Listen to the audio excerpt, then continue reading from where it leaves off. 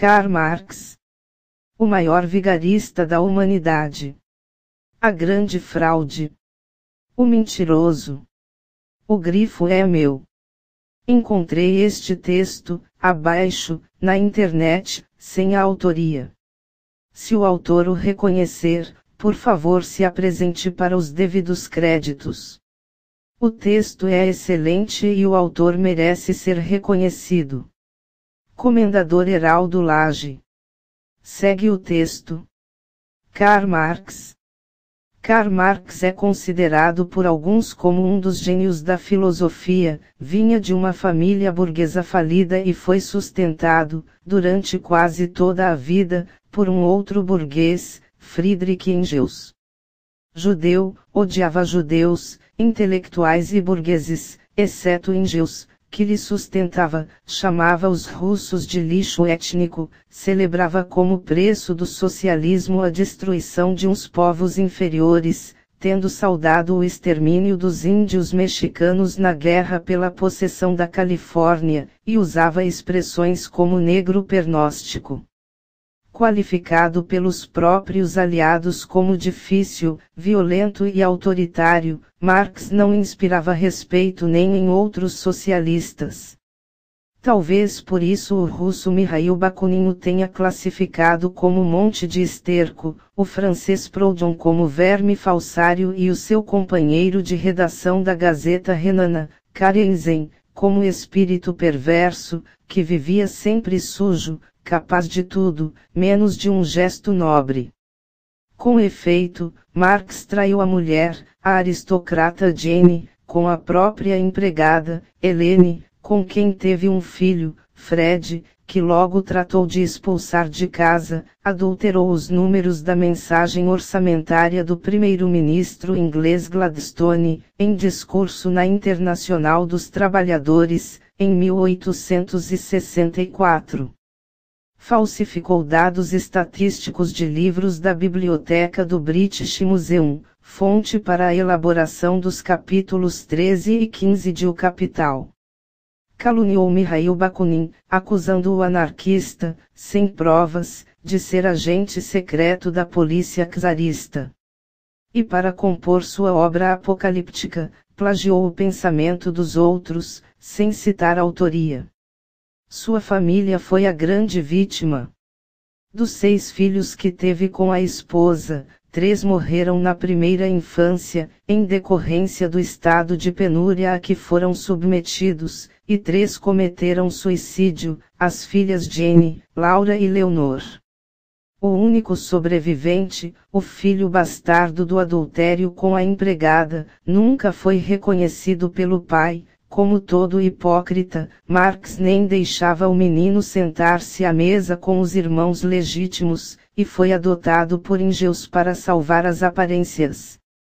A esposa Jane, prematuramente envelhecida pelo sofrimento, morreu sem perdoar o marido por ter engravidado a empregada. Com os pais e parentes, Marx não foi menos egoísta. As heranças de parentes ricos foram avidamente devoradas e mal administradas por ele, que se dizia economista.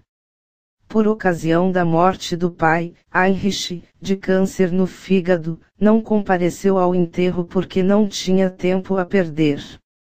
Por conta disso, a mãe, Henriette, cortou relações com ele e, saturada de pagar suas dívidas, advertiu, através de uma carta, o mimado filho parasita, você devia juntar algum capital em vez de só escrever sobre ele.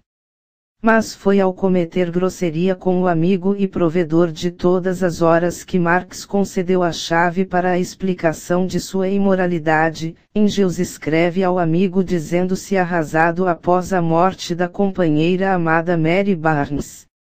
Marx, por carta, responde que a notícia o surpreendeu, mas logo passa a tecer considerações sobre as próprias necessidades pessoais. Magoado com a frieza do outro, Engels suspende o dinheiro e a correspondência, o que leva Marx, apressado, não propriamente a pedir desculpas pela conduta mesquinha, mas a admitir, com franqueza brutal, que em geral, nessas situações, meu único recurso é o cinismo. Entrou para a história como vigarista desde o início, para provar que a evolução do capitalismo só ia piorar a vida dos trabalhadores, ele se apoiou nos dados dos Blue Books, relatórios anuais do Parlamento da Inglaterra. Quando Marx foi ver os relatórios, descobriu que, ao contrário do que ele estava dizendo, a condição social da classe operária tinha melhorado. Como os registros não comprovavam o que ele queria, ele usou os registros de 30 anos antes. E assim usou essa falsificação histórica na sua grande fraude o capital. Antes do capitalismo, a expectativa de vida do trabalhador era de 35 anos. Desde então, só fez aumentar para cerca de 75 anos nos países mais capitalistas. Por isso a população da Terra aumentou de meio bilhão para 6 bilhões de pessoas. Foi o capitalismo que tirou a humanidade da miséria absoluta. Hoje, as populações mais pobres do mundo são as sociedades menos capitalistas, África, Islã e Ásia. A história do século XX desmentiu todas as previsões de Karl Marx e o capitalismo, com todos os seus defeitos, continua vivo. E todas as tentativas práticas de aplicar Marx e seus discípulos, terminaram em rios de sangue, miséria e crueldade. O socialismo sobrevive, hoje, apenas em países prisão, como Coreia do Norte e Cuba, e a China, um dos maiores produtores de cadáveres socialistas, cada vez mais torna-se capitalista, embora seu governo ainda seja nos moldes socialistas. Como plagiador, Marx ultrapassa os limites da pura desonestidade. De Marat, se apropria da frase: o proletariado nada tem a perder, exceto os seus grilhões. De Heine, a religião é o ópio do povo. De Louis Blanc, sacou a fórmula, de cada um segundo suas capacidades, a cada um segundo suas necessidades. De Chaper, tirou a convocação, trabalhadores de todo o mundo, univos. E de Blanc, a expressão, ditadura do proletariado.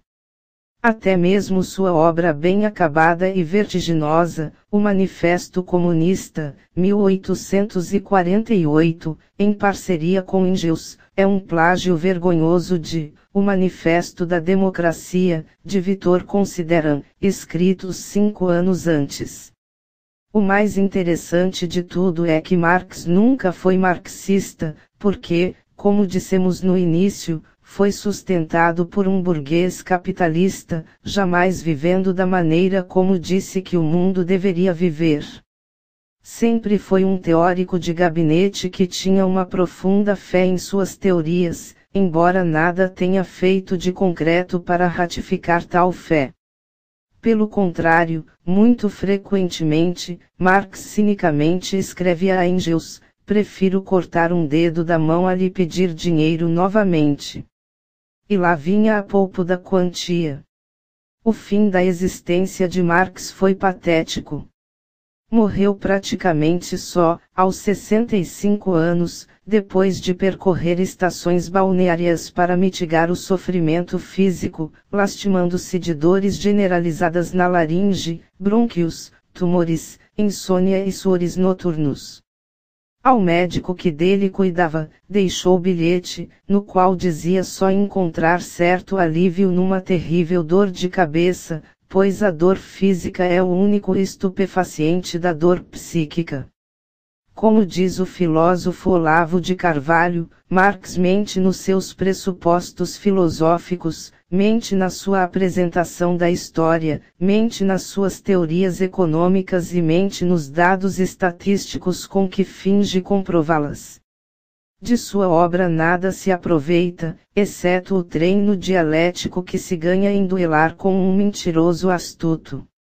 Apesar de todas as críticas que o capitalismo merece, podemos parodiar Winston Churchill e dizer que o capitalismo ainda é o pior dos sistemas econômicos. Com exceção de todos os outros.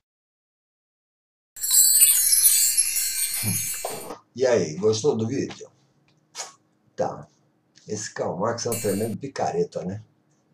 É ali que nasceu tudo isso aí, que veio desenvolvendo, que veio parar aqui no Brasil com essa anta nascida na Bulgária, essa comunista terrorista picareta que está comandando os três poderes aqui, que nós vamos derrubar de lá pessoalmente. Nós vamos lá, o povo, vamos lá tirar essa, os três poderes de lá.